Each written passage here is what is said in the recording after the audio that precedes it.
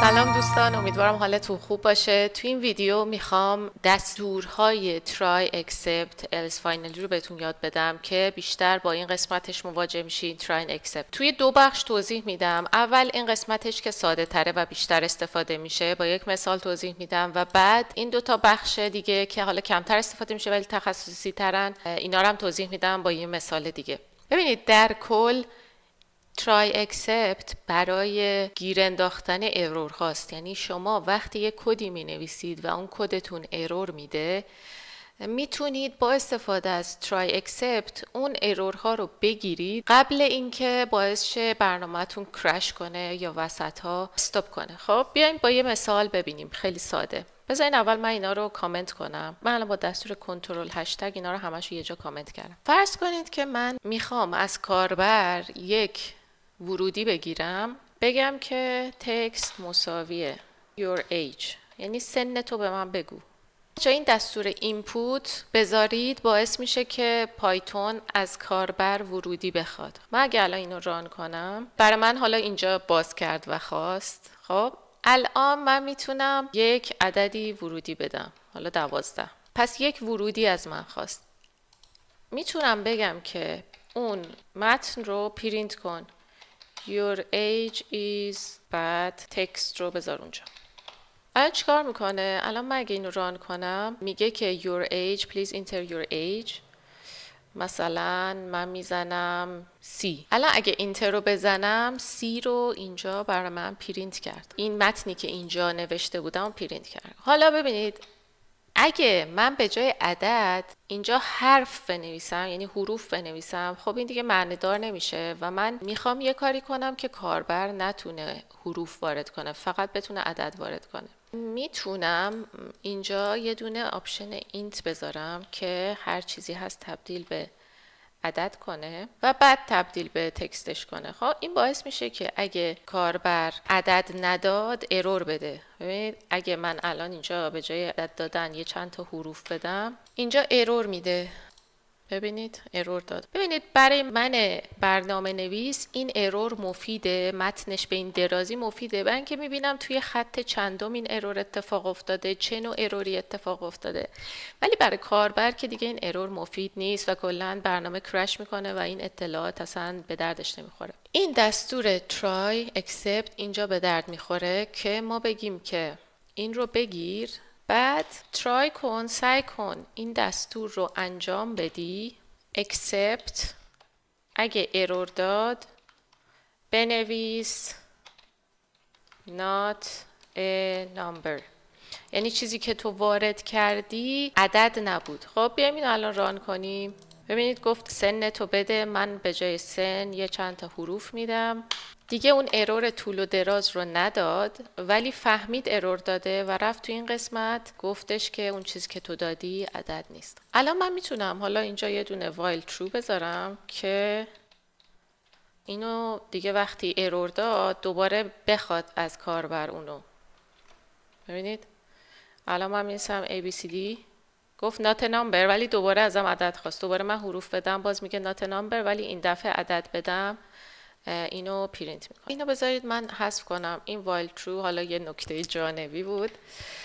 پس کاربرد try و except اینه. خب شما error ها رو می‌گیرید که برنامه crash نکنید جاهایی که احتمال می‌دید ممکنه error بده کار رو می‌کنید. حالا بیایم در مورد else صحبت کنیم. بعضی وقتا else رو هم می‌ذاریم. else وقتیه که اون کاری که شما try کردین انجام بدید با موفقیت انجام شد. و اگه این با موفقیت انجام بشه شما می‌تونید یک دستور دیگر انجام بدید. بنویسید print thank you. مثلا تشکر کن.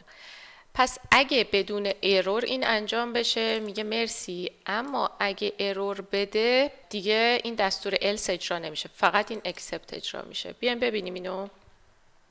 ببینید من الان این فایل رو run کردم. الان از من یه چیزی می‌خواد. من حروف میدم بهش.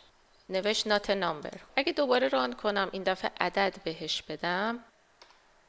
دستور try رو اجرا کرد و دستور else رو هم اجرا کرد. پس else وقتیه که error ی نداشته باشیم. حالا finally چیه؟ finally چه error بده چه error نده؟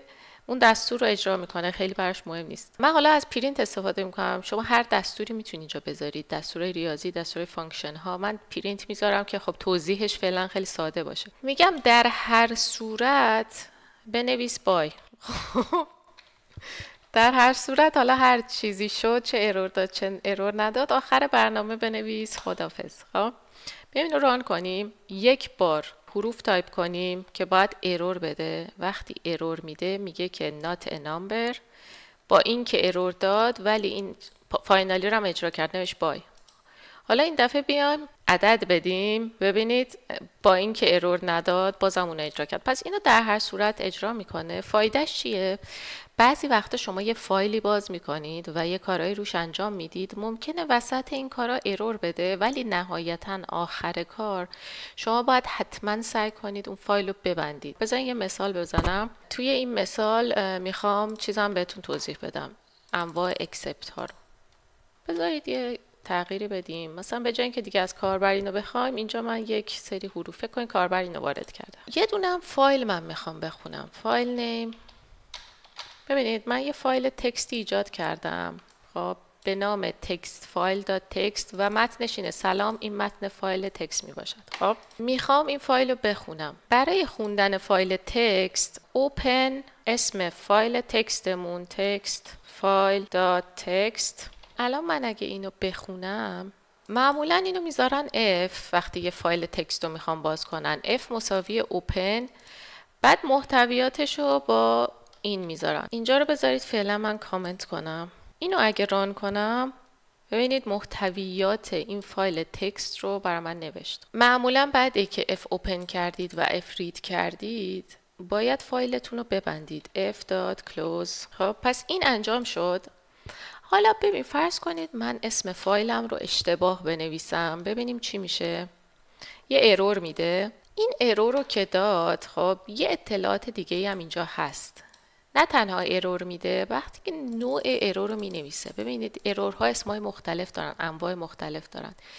اسم این error file not found error ه من می‌خوام این error رو catch کنم. راه حل سادش چی بود؟ راه حل سادش این بود که بنویسم. try کن که این فایل text رو باز کنی.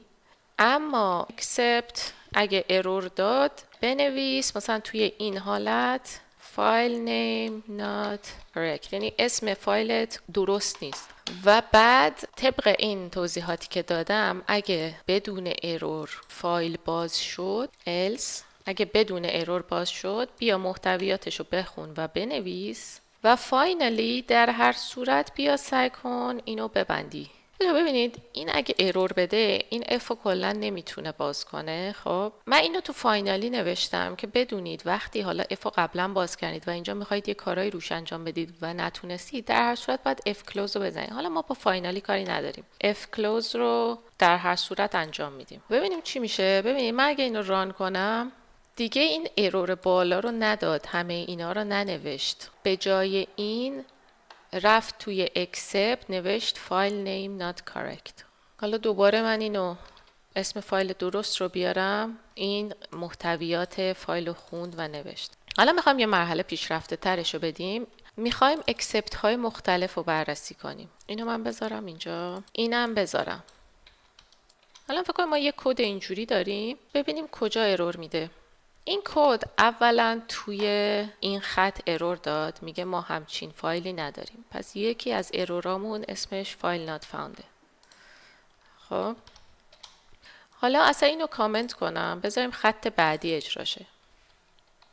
ببینید خط بعدی هم error داد حتی پرینت هم error داد ولی این دیگه یه نوع error دیگه است. این value error ه می‌خوام نشون بدم چطور با except می‌تونید بین error های نوع مختلف تفاوت قائل بشید. الان بیایم ما این دو تا دستور رو اینجا بذاریم. بگیم بیا اینو اجرا کن. except اگه فایل not found error داد. بنویس که فایل name not correct. اگه value error داد یه چیز دیگه بنویس. بنویس text must be integer. یعنی این text باید عدد باشه. پس این دو تا error مشخص رو می‌گیره و به جاش یک راهنمایی می‌کنه به طرف که این چرا این error داده و چیکار کنه که درست کنه کار. در کل می‌تونید یه دونه except دیگه هم بنویسید. چون ممکن است یه error ای دیگه هم باشه شما ندونید. در کل یه دونه اینجا بنویسید error exception as e این یعنی دیگه به جز این دو نوع error هر error دیگه ای داد خود اون error رو پرینت کن. حالا بریم ببینیم چی میشه. چون اول اینو run می‌کنه برای file name not correct ایراد گرفت. حالا اگه file name درست باشه اینو تونست اجرا کنه ولی این درست نبود. میگه text must be integer پس value error رو گرفت. مثلا این عدد یه عدد بهش بدم دیگه هیچ اروری نداد و دستوری که باید انجام می‌داد و انجام داد. پس شما از این try accept و else و finally می‌تونید کدتون رو جاهایی که احتمال می‌دید کدتون ارور بده با استفاده از try accept می‌تونید اونا رو خونسا کنید. بدون اینکه برنامهتون کرش کنه و بتونید برنامه روونتری داشته باشید خب امیدوارم که این براتون مفید بوده باشه. فعلا تا ویدیوی بعد خداحافظ.